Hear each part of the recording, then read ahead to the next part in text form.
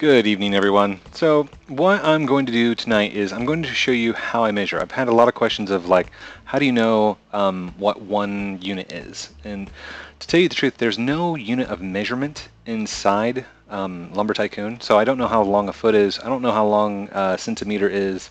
There's no way to tell that. So you have to use what you have around you. And what I have is a scale. I know that I can set this down to one by one. Hold on. Hold up. Recording. Yes, I like your outfit. Smiley face. Big grinny face. okay, so what we can do is we can set this down to one by one. One by one. Sorry, I've got fans cutting wood for me because they knew that I had to make a video and I was trying to get lava done. So, uh, which axe is it? There. Uh, link. There we go. So let's just cut this down real quick. I know that it's one by one. So I'm going to take a log, throw it in there real quick. And, well, that'll work. Why not? We can use lava wood too.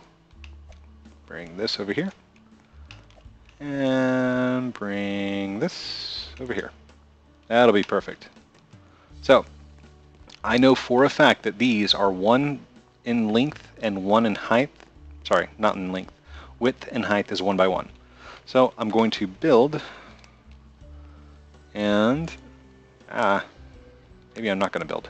Tonight I'm just going to mess around and not get anything done. okay, so there's one, two, three, and come here, uh, four, wow, five, six, seven,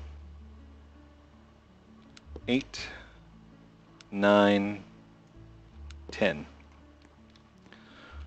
Do, do, do, do, do, do, do, do, do, do, B. Now I'm just going to chop these into one by ones well, as close as I can to one by one. So the first one that I, I make right there, the second one, oh, I really should have my fire axe for that, but it won't matter. Two. Oh, do do do do do do. Three. Oops. I mean, Eureka!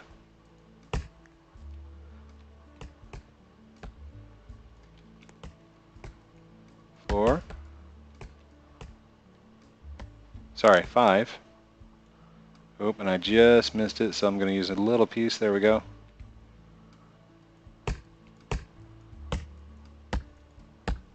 There we go.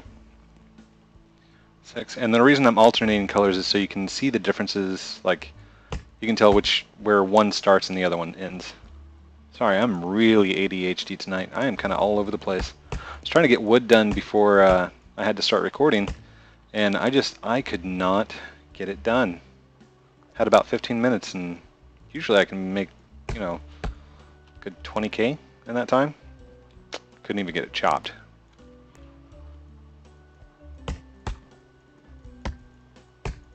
There we go. All right. And done.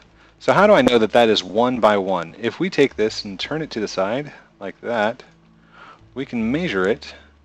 It's exactly one long and one, one high.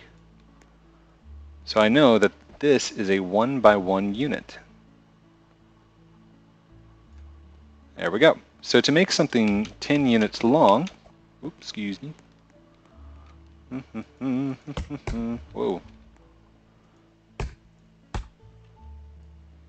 Or however many units long you need it to be. and you see that? They forgot to set the scale. I can tell you that this piece of wood is one, two, three, four, five, six, seven and a half units long. So that is seven and a half units long. Now I don't know how wide it is because it could be thicker or smaller or whatever. The reason this is important is because if I have two tiles say I've got one tile like this. Uh, oh, I did it again. Back out. There we go. Tiny tiles. So I've got one tile over here. Boop. And I got another tile over here. Boop. Right? And then I come over here and I take just a, a small, come here, a small one by one unit versus a huge, come here, come here, get off, there we go, versus a huge unit of wood.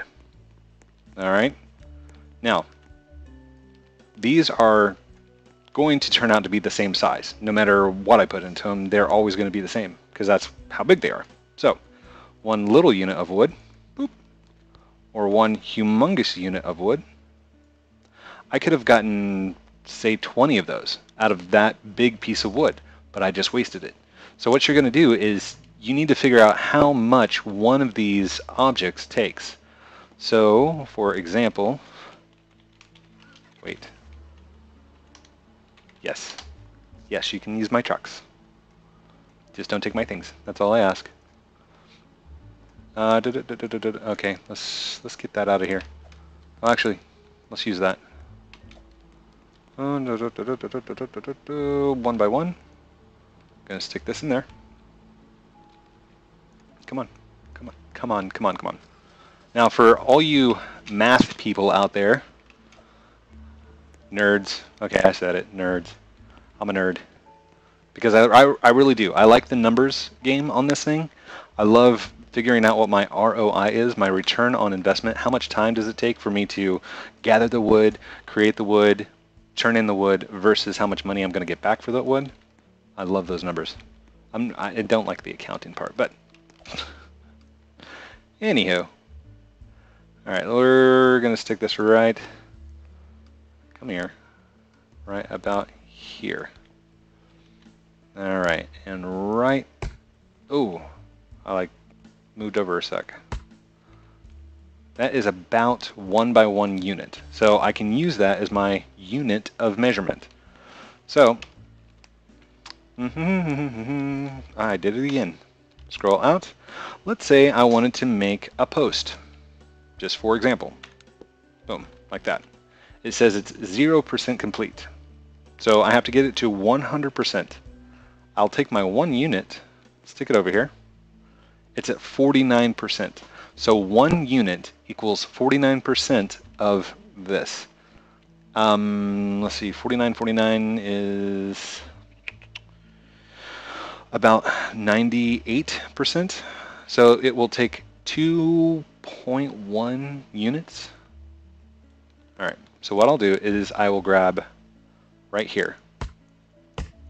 That is one and a half units long, right there.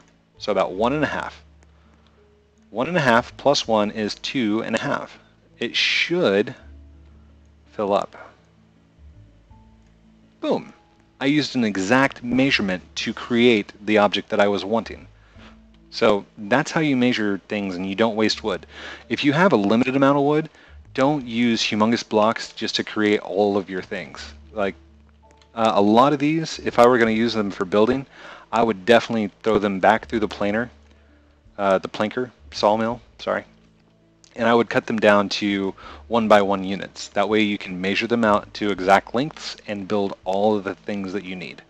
Um, if somebody wants to, you could probably go through each one of these objects and put how many units of wood you would need to create each object, create a table out of that, and some somebody there would be a lot of people that would use it.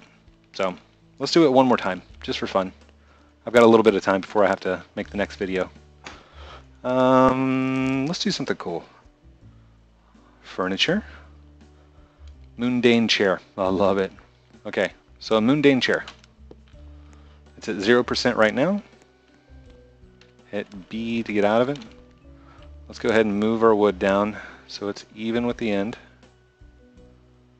We'll get one unit. Oh, it moved over again. So that's not exactly a unit, a little bit less than a unit, but we can still calculate. one unit equals 12. How many is it going to take for me to actually get to 100? Whoops. Whoa, whoa, whoa, whoa, whoa, whoa. I'm actually going to bust out calculator on this one. So 100, it's going to take me at least 8.333333 units. So I'm going to say 9 units. Now, I don't have 9 units left over there. So let's go make another one.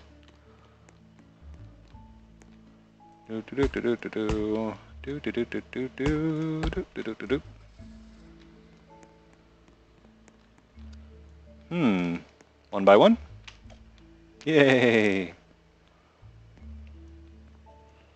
Now I've already got a one unit cut out over there. So, and, and, by the way, you don't have to use this technique. You can just throw wood at it and it still works. So this is one, two, three, four, five, six, about seven. I've already got one over there, so about eight. And then nine would be right there, and I'm going to go half just to be on the safe side. So right here. And 95. Done. Chair. Yay! If you like this video, like and subscribe down below. Go check out my channel. I've got a lot more things going on with uh, Roblox and just making all kinds of cool things. So, meet the owner. What? How did you... Okay, anyhow. So, uh, like and subscribe down below. Thank you everybody for watching. Have a good night.